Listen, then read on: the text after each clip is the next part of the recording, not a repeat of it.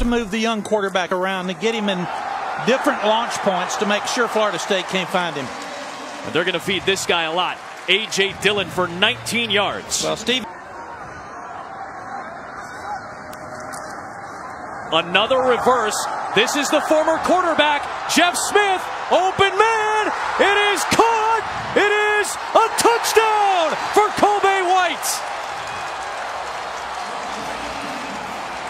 Well, they said they were going to let it fly, and they did. They've got the young freshman back of the end zone. What a catch! Drags his feet. Let's see if he gets them down. Looks like the knee's down. It's a catch. He's got control. Touchdown.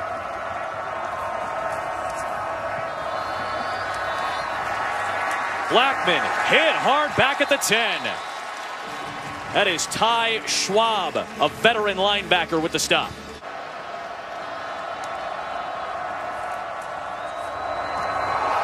Akers lost it. Boston College has it. Recovered by Will Harris. Quarterback handing it off on a counter play up inside to a freshman running back, and it didn't look like that Cam Akers had the proper pocket. We're down an eight for BC, and Mac just circled Derwin James, who stays back in coverage. And tried to get his hands on that, but it was rifled to Garrison for a first Fourth down and two for BC in plus territory. And it's a keep for Brown, and he has the first down.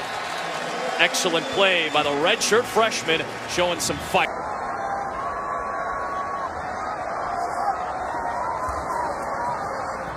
To the out route, and it's caught by Sweeney.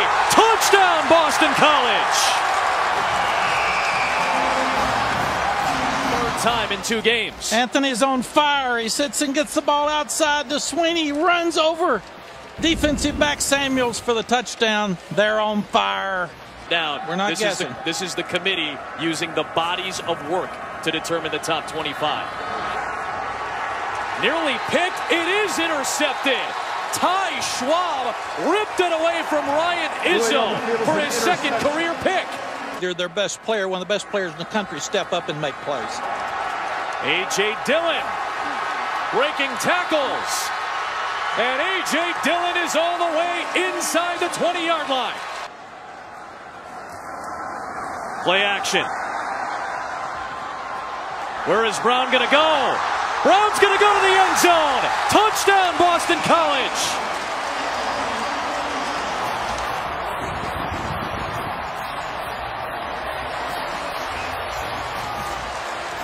We said Anthony Brown needed to make good decisions tonight. It's a throwback to your tailback, Hilliman. It's not there. Pull it down, find the end zone. Great decision by the young quarterback. It's hard to get there, and it's hard to prepare to, prepare to play. A.J. Dillon. Over 100 yards tonight for A.J. Dillon, the true freshman out of New London, Connecticut. Nearly tripling Florida State's rushing total tonight. And they go right back to him. Muscling in again. Touchdown, Eagles. A.J. Dillon rumbling in. A.J. Dillon, he didn't play football until he was nine years old.